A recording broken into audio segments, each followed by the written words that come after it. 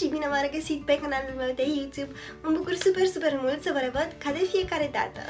Clipul de astăzi s-a animerit la fix pentru că sunt în mijlocul uh, unor decorații interioare. Eu cu Nathan facem camera în care dormim, casa mea este întoarsă pe dos. Acest clip va fi unul foarte, foarte lejer. Este primul meu tag, deoarece Ioana 114 m-a tăguit. Astăzi vom sta puțin de vorbă despre frumusețea noastră. Îți mulțumesc, Ioana, enorm de mult pentru că m-ai tăguit. În primul rând vreau să-mi cer scuze pentru calitatea puțin mai inferioară acestui video. Camera mea a decis să nu mai funcționeze astăzi, uh, dar nu mă dau bătută. Mm, trecem mai departe și facem acest video pentru că este primul meu tag și chiar vreau să-l fac. Haide să începem! Prima întrebare a acestui tag este cum te numești? Pentru cei care sunteți noi pe canalul meu, mă numesc Cristina Covaci. A doua întrebare este câți ani ai? Uh, uh, o întrebare, tot timpul când întrebarea asta mă întreb oare să zic adevărul, să zic că sunt mai tânără, dar am Ai avut vreodată probleme cu tenul? Uh, nu am avut niciodată probleme extrem de mari cu tenul când eram mai uh, tânără, cum mai ieșeau coșuri pe aici, pe față sau în general pe nas îmi ieșeau, dar nu am avut uh, probleme exagerate cu tenul uh, gen să am acne sau ceva de genul, deci mă simt uh, o norocoasă.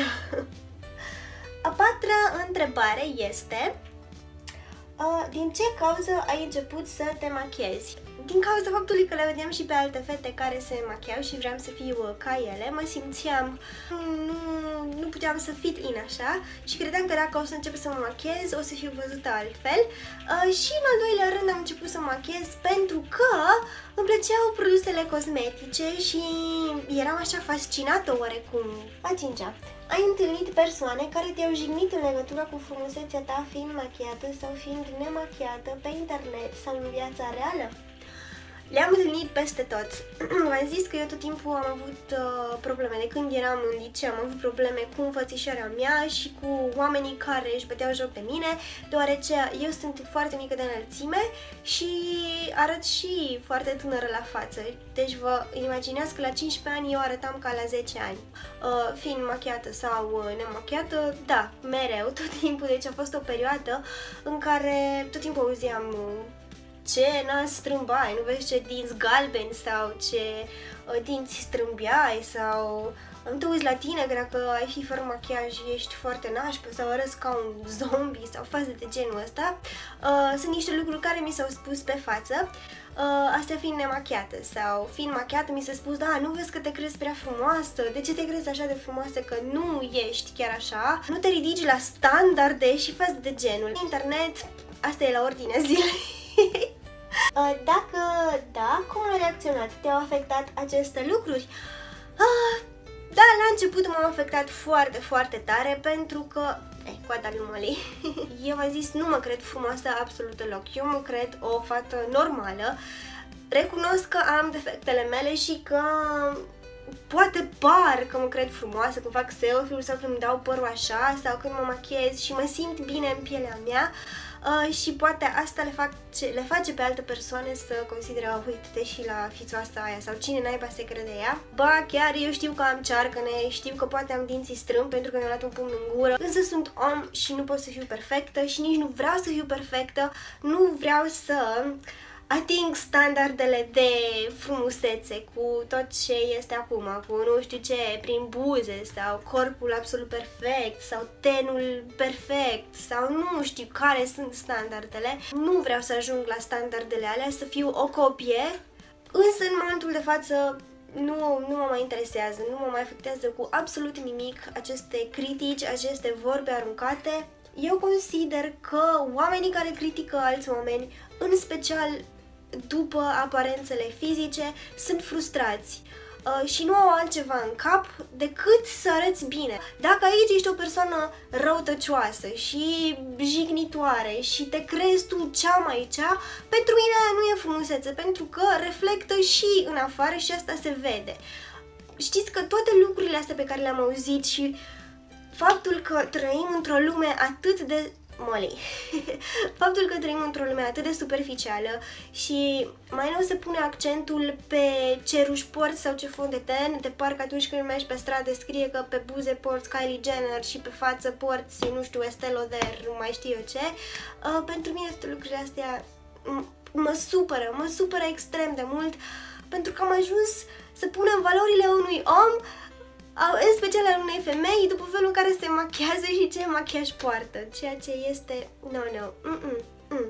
Noi cu toții o să îmbătrânim, avem uh, stagiile astea în viață, când ne naștem, suntem copii, apoi uh, frumusețea renaște, mai ales frumusețea exterioară, așa, avem pielea fină, totul corpul perfect, uh, dar încetul cu încetul toate aceste lucruri se duc și atunci rămânem cu ce avem în suflet. Pentru mine asta este frumusețea, ce ai în suflet, ce ai în minte, cum gândești, cum apreciezi alți oameni, cum vezi, cum îi vezi pe alți oameni și cum ajuți alți oameni. Porți des machiaj în public pentru că nu ai încredere în tine sau din alte motive și care ar fi acele motive. Eu mă machez doar când ies în oraș, uh, nu pun cine știe ce foarte mult, mă machez doar ca să-mi ascund cearcănele și să arăt decent. Îmi place să mă machez, îmi place acele momente când stau la masă de machiaj, ascult muzică uh, și mă simt bine în pielea mea și da, simt că, nu știu, toate aceste cosmetice uh, nu știu, parcă mă fac așa un pic mai fericită și mă fac să arăt un pic mai bine și să mă simt puțin mai încrezătoare. Sau dacă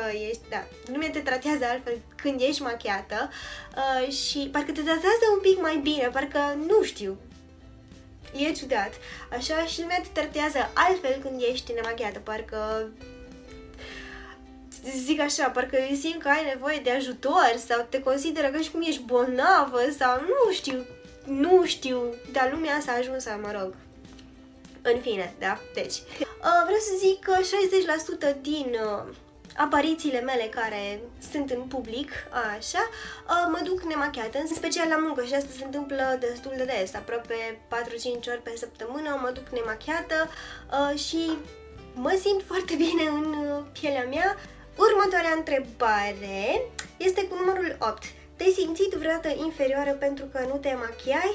Uh, da, în liceu mă simțeam inferioară pentru că nu mă machiam. Nu am fost o fată cu foarte mulți bani. Mama mea a făcut foarte multe sacrificii ca să îmi pot permite haine, să merg la școală și cărți și caiete, așa că machiajul era gen pe ultimul loc. Acum aș fi în liceu, pur și simplu mi s-ar rupe, frate. Mi s-ar rupe de tot ceea ce gândesc alți copii. Uh, și asta vreau să vă fac și pe voi să înțelegeți că uh, viața nu este acolo și cu cât crești așa, uh, realizezi că valorile vieții sunt altele. Următoarea întrebare cu numărul 9.